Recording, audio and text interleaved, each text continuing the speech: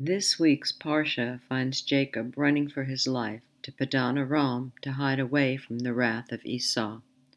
On his way, he stops in an unnamed place, makes a pillow out of rocks, and dreams the dream of the ladder extending to the heavens. The narrative tells us nothing about the location at first. All we know is that there are rocks there, just as there are all over Israel. In the dream, he has a word from Jehovah and when he awakes, he exclaims, Surely Jehovah is in this place, and I did not know it. Western society has lived so long with monotheism that we do not take into consideration other world views. We might talk about some remote tribe at the end of the earth that worships creation, but we do not realize that in the time of the forefathers, the culture was similar, and we have in the Bible other evidence of the mindset of pre monotheistic people. Jehovah does not even declare himself to be the God of the Israelites until the book of Exodus. It seems like Abraham the Hebrew was the first human to have a personal relationship with the God of the universe, thus, by faith, becoming the first monotheist.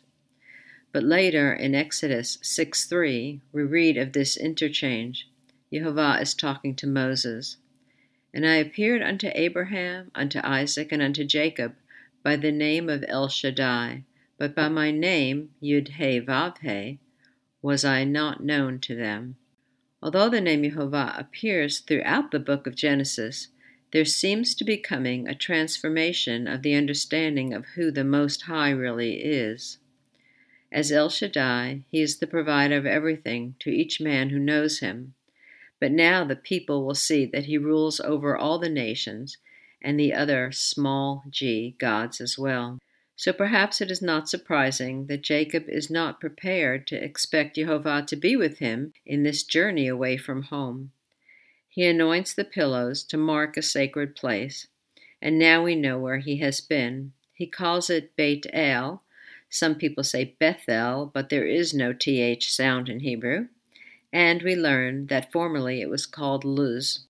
Beit El means the house of God, but the meaning for Luz remains uncertain. The place seems to have been somewhere between Jerusalem and Shiloh, as Jacob makes his way towards modern day Syria. It is mentioned throughout the books of Genesis and Joshua, as is its former name, Luz.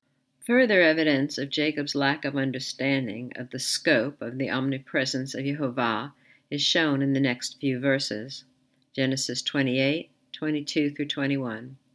And Jacob vowed a vow, saying, If Elohim will be with me, and keep me in this way that I go, and will give me bread to eat, and raiment to put on, so that I may come again to my father's house in peace, then shall Jehovah be my God. And this stone which I have set for a pillar shall be Beit Elohim, the house of God and of all that thou shalt give me, I will surely give the tenth to thee. There are other places in Scripture that point to the idea that the gods are according to geographic regions. We find the story of Balak, the Moabite king, and Bil'am, the prophet, for profit. When the two finally meet in Numbers 22, Balak takes Bil'am to Kiryat Chutzot to curse the Israelites.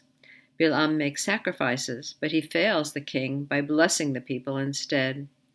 Then the king brings him to the field of Tzophim at the top of Mount Pisgah, and Bilam repeats his blessings. Now they proceed to the top of Peor, and the scene is repeated.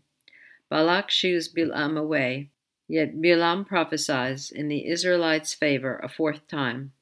Why is Balak going to all this expense? Why does he keep schlepping the prophet around? They have traveled far, gone up and down many hills and mountains. They have sacrificed forty two, yes, forty two animals. Each time Bilam reports that he must give the prophecy which Jehovah has spoken. Yet Balak, the pagan king, keeps looking for a place where Jehovah does not rule. His worldview dictates that no God rules everywhere, and that there must be some place where his God can get the advantage over the other. Regrettably, his experience does not lead Balak to change his world view. On the contrary, in great fury, he blames Bil'am. He is delusional, pitting himself against the Almighty. The king says to the prophet in Numbers 24:11, Therefore now flee thou to thy place. I thought to promote thee unto great honor, but lo, Jehovah has kept thee back from honor. Another example of this phenomenon is found in 2 Kings 17 24 through 28. The background for the story begins in verse 6. In the ninth year of Hoshea, the king of Assyria took Samaria and carried Israel away into Assyria, and placed them in Halah and Habor by the river of Gozan, and in the cities of the Medes. The northern kingdom is no more, and, as was the custom of the Assyrian regime, they brought peoples from other parts of the empire to come and dwell in the lands of Ephraim. From verse 25. And so it was at the beginning of their dwelling there, that is, the foreigners who have just come in, that they feared not Jehovah. Therefore Jehovah sent lions among them, which slew some of them. The new inhabitants of Samaria contact the king of Assyria and request that a local priest, originally from the area, be sent to train the people in the rituals for appeasing what they perceived to be the local regional god. However, as you read on in the story, you find that it was to no avail.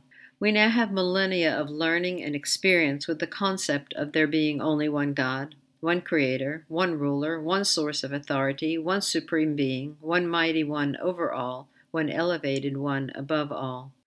We know that He is not only omnipresent everywhere, but also omnipotent, all powerful, omniscient, all knowing, and omnificent, creating all. The Bible teaches that he is transcendent, outside of time, eternal, and not subject to change. We feel far more knowledgeable on the subject than our forefathers in the faith. But do we really live any differently? Perhaps we do not doubt that Jehovah will travel with us out of state to Thanksgiving dinner, but in which we regionalize our lives, separating pieces of ourselves for different standards. We imagine that He is the Lord of our spiritual life, but forget to look to Him as ruler in our secular activities. Perhaps we feel sure that Jehovah will favor us with a promotion at work, but we are unsure whether He will prosper our children. Perhaps we can be extremely honest with our spouse, but we feel like it's okay to tell a white lie to a distant relative.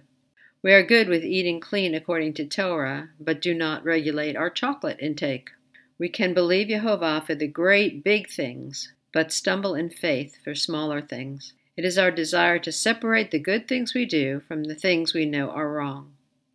Whatever the disparity, it reflects a dissociation, as if Jehovah were not the only one who rules over all of our life all the time.